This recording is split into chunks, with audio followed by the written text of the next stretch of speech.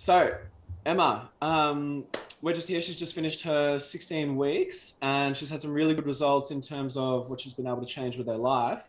Do you remember what you were struggling with before we met, Emma? Um, yes, I do, I think. so, um, I, oh, geez. Uh, probably I was struggling with anxiety um, and the motivation as well and energy levels. Um, I had a lot of sore areas that I that I haven't really tended to or recovered from.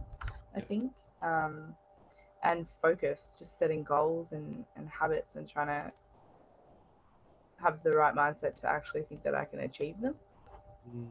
Um, like yeah, I think I'm too much of a. I was like, I'm still am, but like, I was focusing too much on other people and not like not what I wanted to achieve, for sure. Huge.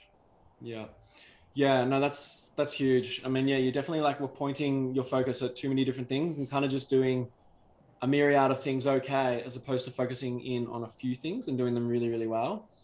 Um, I know you were also like working a lot at the time, and you were going through like a bit of like a career change and you've been able to you can handle a chainsaw now. yeah, so I think that's huge. Like I think um, when I started with you, that was like when I started working with Surf Coast. Yeah. Um, so that was pretty. It was a bit of a scary transition, but and I had like four jobs. Um, mm. So it's it's kind of nice to know that I've dwindled it down to one one and a half. one and a half, yeah. Um, but yeah, I think I feel a lot stronger um, just in myself and like and being able to do i mean it, it's still it's exhausting still every every day that i'm out surf coast but mm. i feel like every day i'm getting that little bit better. Um like yeah the the using the chainsaw and stuff like that like i cut down my first tree the other day and actually use the chainsaw for longer than like an hour which is huge. Um it's a long time to hold one oh my god, I cut like I did all this logwood. They like let me do it, and um, it took like three and a half hours, and I've never yeah. been so tired. They're like, you look like you've been to war. yeah, legit, legit. That's so funny. yeah, yeah, and I think as well, just mm. um, like in since I've started just reaching out to people, like the the Slackline group. Um, mm.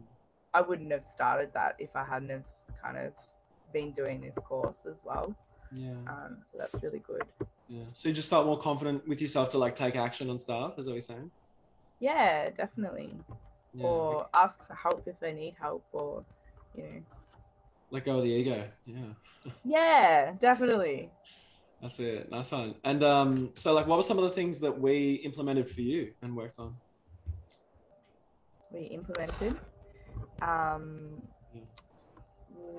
what do you mean? Sorry. So, so like, like, my habits work, we could go workouts, we could go habits, we could go nutrition, that sort of thing. Like what were what were some of the things that we did just for you?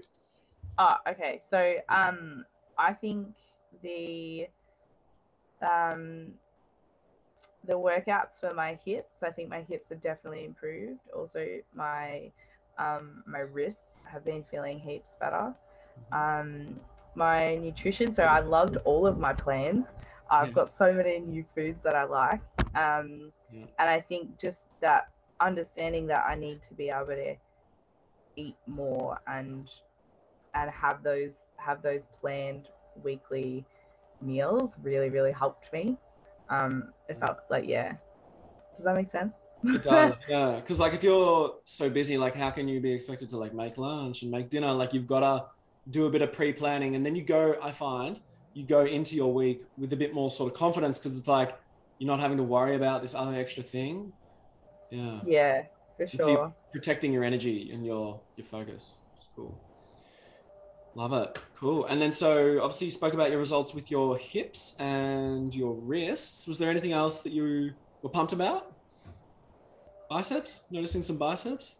Oh, yeah. Um, I have actually noticed that, like, yeah, just in general, my arms and oh, my stomach's getting way better, and I'm mm. getting slightly a little bit more of a bump, which is fantastic. Ooh, yeah, yeah, we like that. We like that.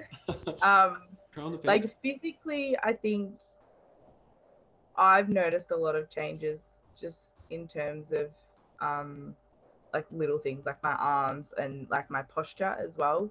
Yeah. Um, and just being more aware, like when um, when I do feel really anxious or when like my breathing and stuff like that, I think that's been a massive change for me. Is Mm. pa- being paying more attention to it. I still feel like I'm not there yet, but I'm heaps more aware that my heart rate's really, really like high right now, and I need to maybe control that or do something to to help with that. Um, and I think my biggest thing was like if I if I'm so, sore and tired and tight, um, it really affects the day or what I'm doing or my workout. Um, and I, I, I have these high expectations of what I can achieve, but if my body's not there, it's not going to happen. Yeah, exactly. Yeah, yeah. So you just sound way more aware of like the relationship between like going into the gym feeling good versus going into the gym sore and tired. Yeah, definitely. The Yeah, same with work. For sure. Yeah.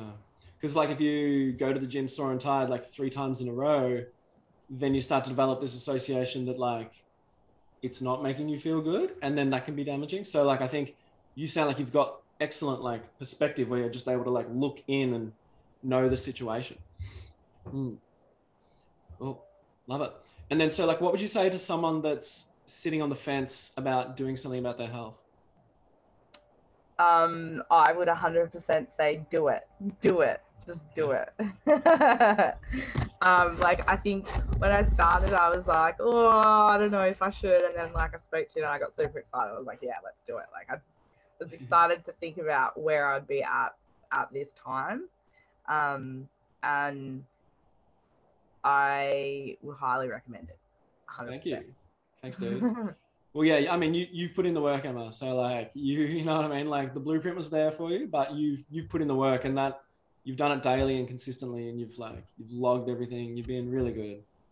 oh, I could do better, but yeah, thank you. Past two weeks, you've done so well to that 14 weeks. It was like the final two weeks, like she deals whatever she has to deal with. That's fine. But like for the rest of it, man, you were like A grade student. Aw, cheers. Thank you. Yeah. Nah, like I, I really enjoyed it. Really did. Love it. Cool.